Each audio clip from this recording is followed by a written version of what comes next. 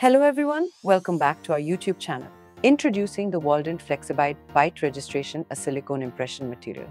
Crafted meticulously for superior bite registration, this material ensures unwavering reliability and precision. With advanced additional silicone composition, it's the preferred choice, offering a seamless blend of technical prowess, chemical finesse, and physical resilience. Experience excellence in every application with Waldent Flexibite.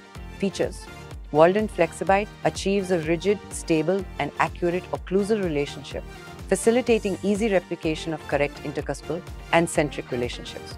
Delivers precise bite records with exceptional hardness.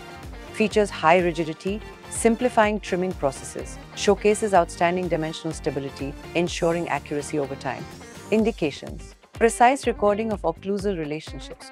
We are going to dive into the operating instructions. Ensure the mixing tip aperture is clear before attaching it to the cartridge. Squeeze approximately 2 centimeters of the material onto the mixing pad. This will ensure that both the base and catalyst are dispensed from the cartridge. Applying the Waldent Flexibite Bite registration material for occlusal details, cover teeth in either the upper or lower arch. For recording anterior teeth, it's recommended to place the material over the teeth in both arches, creating a layer approximately 5 mm thick. Inject the material swiftly and uniformly onto tooth surfaces. Instruct the patient to bite down until material solidifies usually within 1 minute and 30 seconds.